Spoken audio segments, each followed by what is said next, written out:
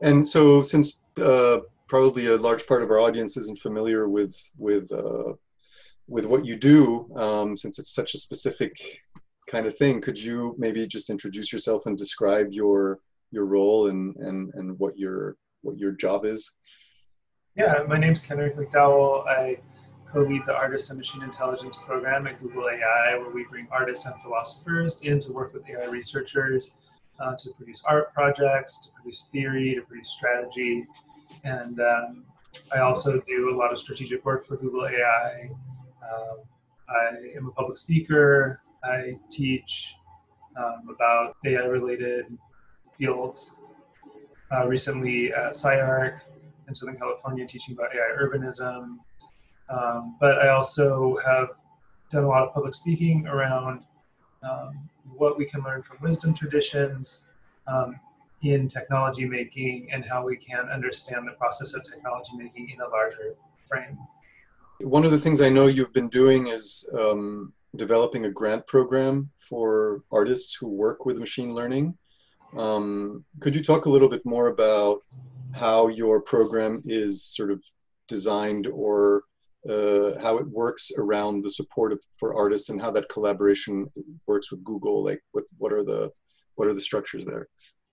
Yeah, so um, our team, Artists and Machine Intelligence, uh, there's a couple of program leads, and then there are a few creative technologists uh, working between Google AI and Google Arts and Culture, and we provide funding, um, creative technologist support, and program support for artists that have some interest in uh, technology, specifically machine learning. So we've got a cohort of six artists that we've been working with for six months about. Some of them work with sound, some of them are installation and new media artists, uh, some work with film, with text. And um, our goal really is to support emerging practices with ML. And I say emerging with ML, maybe not emerging artists themselves, they may be established, but that are starting to work with ML and really help them get on board and make it a critical part of their practice. I know you've been thinking a lot about the Anthropocene and climate change, ecology. Uh, it's interesting to think that there that this tiny little thing that's not even a uh, that's really microscopic and that doesn't necessarily could be considered as uh, having any intention is essentially completely changing our society and bringing humanity almost to its knees. Um, for me, that's been an interesting topic of reflection around our able ability to control our environments um, and and sort of like a humility lesson almost absolutely uh, about about this idea that we are the rulers of of the planet. Um, do you have any any thoughts on that? Um, well, it's it is funny because we spent a lot of our team spent a lot of the last year um, talking about non-human intelligence and collaboration with non-humans and sort of um, put making space for non-humans in our models. So you know, one of the things that we've been working on is a a theory of expanded human-centered design. So taking the human-centered design ethos and saying, okay, well, given that we know humans are part of networks, um, and we know that those networks involve non-humans, how can we imagine design uh, functioning with the non-human as a as an actor that's considered? And we were really challenged by some of the economic models that we're working from, just the idea that everything has to ultimately feed a bottom line, and how do you introduce actors that can't participate in that necessarily directly, right? And if you do, you know, are you instrumentalizing? Anyway, questions like this came up, but we had always kind of treated it as subconsciously, I think we were kind of saying, like, hey, this is our moral responsibility. We're going to do a favor to the biosphere by considering them as part of our economic model, you know? and now it's like, no, that's not actually what's happening. like, this, like, as you say, this like tiny non human intelligence, whatever intelligence it does have, has forced us to reconsider our economic model entirely. And uh, it's not it's not about us magnanimously like opening capitalism to animals. It's like it's the it, it is the fatal flaw of our system is that we haven't perceived non-humans I have a question for you that kind of stems from one of the first conversations you and I had uh, on the phone I don't know two years ago or something, and we were talking about um, new media festivals, and you had brought up a conversation you had had with a with a big, uh, say, contemporary art curator. Uh, I think you were at Ars Electronica, and he had he had mentioned to you that oftentimes there's a problem with new media art is that it's so poorly presented, and that comment stuck with me um, uh, uh in large part because of the sort of the ease of, of new media art to be perceived as like a sort of a lower form of art, uh, meaning that it becomes more decor- decorative or with concepts that are not really developed. Um, do you feel like there, I mean, what, what are your thoughts on that and, and what do you think artists can do to elevate their, their presentation? Yeah, I mean, I think at the time that that happened, which was really only a few years ago, um, we were in a moment where media, new media was in the contemporary, so-called contemporary art world and so-called new media art world were converging in a way.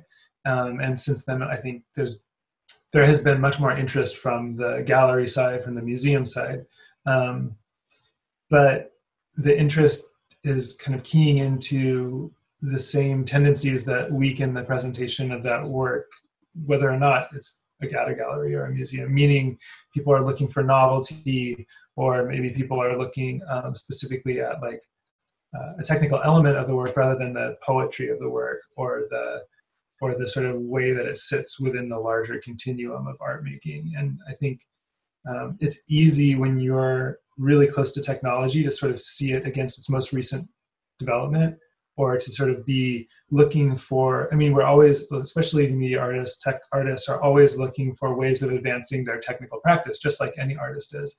But because that technical practice is situated within um, a metabolism of technology development that is at scale that goes very quickly um, the, the outputs can seem dated very quickly or the way that it's presented can be sort of within this narrow temporal window. And you know the funny thing is you look back at like demo scene stuff from the 80s and 90s or you look at like um, plotter art from the 50s and it has this aura that feels really rich compared to something that might be way more technically complex that came out like two years ago that suddenly feels maybe camp or dated or and I think we have a tendency as people working in the space to perceive our work within a very short window. But if we open up what that window is, we may be able to allow more poetry, allow more context into the work, and to see something that maybe isn't like the highest quality rendering or the the most up to date thing. Like if it has a relevant poetic meaning, if it has something to say, it can be enough. And some, I think we we sometimes index too much on like what's the new thing, and that sets us up for failure in the future. When it, you look back a few years later and go, "Oh God, cringe! That was like so that moment," you know. And but that's another part of it too, is like accepting that change in in uh, technologies and in aesthetics, and allowing it to be like of its moment. And sometimes, in order to do that, you need to put more around it in terms of the conceptual apparatus or historical context and understanding. When I was in grad school, I interviewed Rachel Harrison, the sculptor, and she was talking about putting um, like a can of like Coke or something on top of a sculpture. And she was you know, combined with a couple other elements, like, and she was saying she was really interested in how the constellation of these three things would change their meaning over time. And that like the Coke can has one meaning now, but like in 10 years it means something else. And so do the other two, and the way that they move in time is really interesting to her. And that seems to be something that we have a natural uh, position with as media artists is like it's always changing. And so that that's like to see that as a strength and you know what would you need to bring out that strength um, seems like a cool opportunity that we have you know to not be worried about like being obsolete. Do you have any advice given the situation that we have today and given your you know your particular position in the field, do you have any advice for artists who are? I, am mostly interested in advice for artists who are starting in their career and who are potentially unsure about moving forward now, uh, considering the situation, but also advice that could be for people who are just thrown off, you know, and and who don't really know um, what their next steps should be. One of the most important skills we can develop in the 21st century is understanding when we're being manipulated. Because we're so networked and so connected to each other and to the systems that we're using, it's sometimes really hard to figure out where our thoughts are coming from and where our desires are coming from. So, you know, the thing that you think you need to do might be something that's coded into the interface that you're using to do the work, right? Um, it may be in the tool or it may be in the platform that you're sharing it with. Like you may be incentivized in directions that go against your own nature. So I think if somebody's trying to understand like how to go about being an artist in the context that we're in, um, one of the best things you can do is develop a strong intuition and a strong sense of your own desires versus the desires that are sort of floating all around you.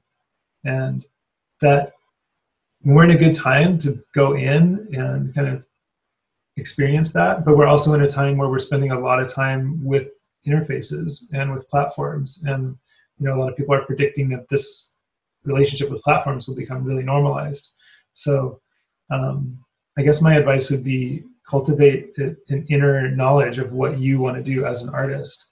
And when you engage with the tools and the platforms, be aware of the effect that they have on you.